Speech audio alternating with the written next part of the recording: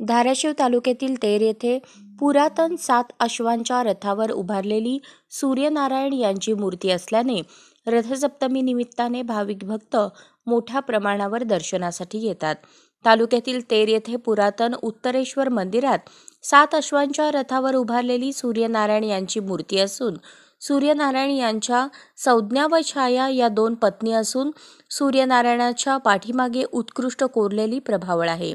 मूर्ती पुरातन असून मूर्तीवर उत्कृष्ट सुरेख व कोरलेली कलाकुसर आहे. राज्यात अशा प्रकारची पुरातन सूर्यनारायण मूर्ती तेर येथे एकमेव असल्याने राज्यातील भाविक भक्त रथसप्तमी दिवशी धाराशिव तालुक्यातील तेर येथे सूर्यनारायणाच्या दर्शनासाठी मोठ्या प्रमाणात येतात.